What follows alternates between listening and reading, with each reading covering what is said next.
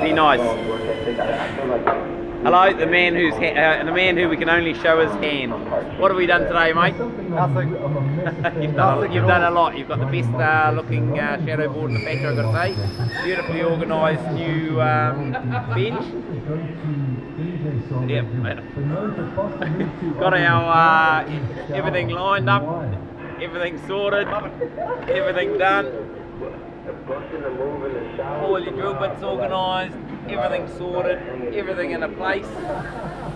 Got your R1, got your R2, got your drills set up, and we still got to do the labelling of those areas there. But uh, all in all, mate, I've got to say, it's a very good job. Nice work. Thank you.